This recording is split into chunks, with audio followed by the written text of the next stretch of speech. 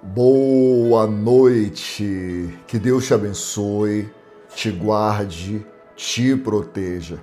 Que nessa noite todas as bênçãos do Salmo 91 estejam sobre você, sobre a sua casa, sobre a sua família. Eu estou com o Salmo 91 aberto aqui na minha frente, a palavra de Deus, e nessa noite nós iremos orar. Que cada casa, cada lar, cada hospital, cada ambiente que esta oração chegar, chegue juntamente com ela a luz, a bênção, a proteção, o livramento do Senhor para cada pessoa que ouvir e que receber essa oração de coração aberto. Eu gostaria que você, antes de eu orar, escrevesse aí abaixo nos comentários: Senhor, livra-me de todo laço do passarinheiro. Laço do passarinheiro são armadilhas espirituais. Só Deus, Deus é o único que sabe o que o inimigo pode estar preparando contra você ou contra alguém que você ama. Então, quando você faz esse pedido a Deus, Deus dá ordem aos seus anjos para abençoar, para tocar, para, para libertar todos os seus caminhos onde existe um laço, onde existe uma armadilha. Amém? Você que está entrando aqui pela primeira vez, seja muito bem-vinda, bem-vindo. Eu sou o Bispo Bruno Leonardo e você está em uma grande corrente de oração. Aqui não é sobre religião, aqui não é sobre placa de igreja, aqui é sobre Deus e sobre a Sua palavra. Estou aqui com o Salmo 91 aberto. E você que está pela primeira vez, se atente aos sinais que o mundo espiritual está te enviando. O mundo espiritual a todo momento nos envia sinais. E quando você se depara em uma corrente de oração, o mundo espiritual está te enviando um sinal que Deus está te guardando, que Deus está te livrando, que Deus já viu algo que você não viu e ele quer te guardar. Eu vou orar por você nesse momento. E se você diz assim, bispo, Coloque, escreva o meu nome nessa corrente de oração para que vocês estejam sempre orando pela minha vida. Eu vou te ensinar. Aqui abaixo você verá a palavra inscrever-se. A palavra inscrever-se aí abaixo é justamente para isso, para todos que querem deixar seus nomes escritos, registrados na corrente de oração, para que todos os dias venha ser apresentado ao Pai, ao Filho, ao Espírito Santo. Amém? Então clique na palavra inscrever-se. Eu peço também que você clique no símbolo do gostei que está aí abaixo. É uma mensagem positiva que você manda para o YouTube, que aquilo que eu falo aqui não é ruim, não é desrespeitoso. Então ele faz com que outras pessoas é, conheçam essa corrente de oração. Nós vamos orar o Salmo 91 agora. Eu estou com meu copo d'água aqui.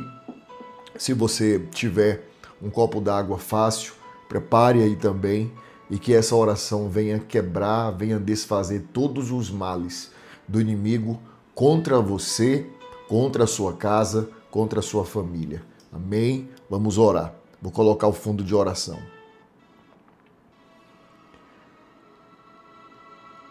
Que esta oração traga proteção, paz, livramento socorro divino para todos que a receberem. Aquele que habita no esconderijo do Altíssimo e descansa à sombra do Onipotente, diz ao Senhor: meu refúgio e meu baluarte Deus meu em quem confio, pois ele te livrará do laço do passarinheiro e da peste perniciosa.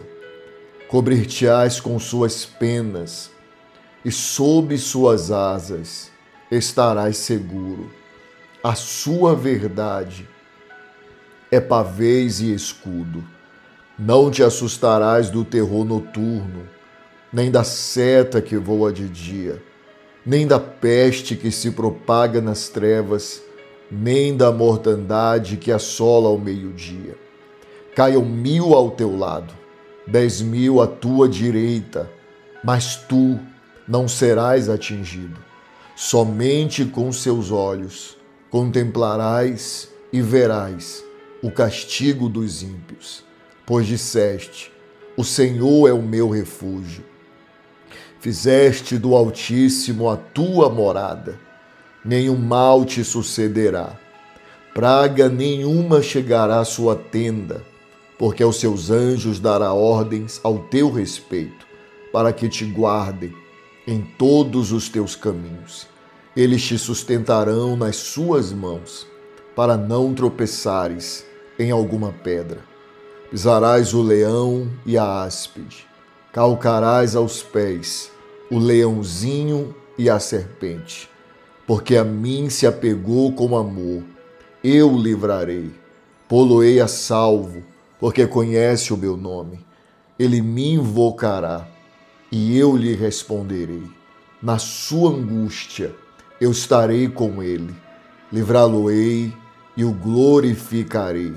Saciá-lo-ei com longevidade e lhe mostrarei a minha salvação. Ó Senhor, nosso Deus e nosso amado e querido Pai, nesse momento de oração, Pai, nós entramos na tua santa e poderosa presença, nesse horário sagrado que a tua palavra chama de a hora da viração.